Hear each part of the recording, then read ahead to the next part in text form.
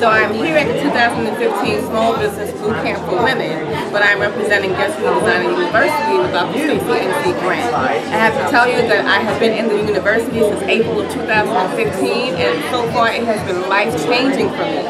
Dr. Grant is a phenomenal woman, a phenomenal speaker and coach, and she has just been blessing me as she's been speaking life into me. She knows that I have a story that needs to be told, and she is coaching me how to tell my story, and I cannot wait to share my story with all of you.